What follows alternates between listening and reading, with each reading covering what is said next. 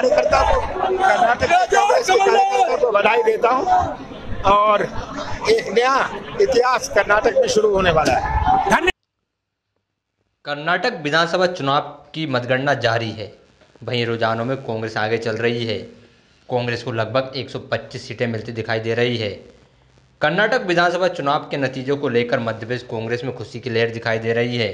कार्यकर्ता को कर्नाटक कांग्रेस के कार्यकर्ता को बधाई देता हूँ।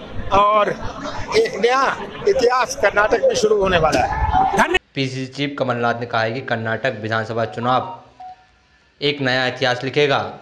बता दें कि मुख्यमंत्री कमलनाथ शनिवार को एक दिवसीय दौरे पर मुरैना पहुँचे थे।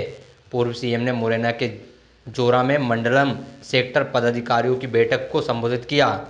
उन्होंने यहाँ मीडिया कर्मियों से बातचीत के दौरान कहा कि मध्य प्रदेश में कांग्रेस पार्टी को जनता इतना बड़ा बहुमत देगी कि सौदेबाजी की राजनीति का कोई स्कोप नहीं होगा।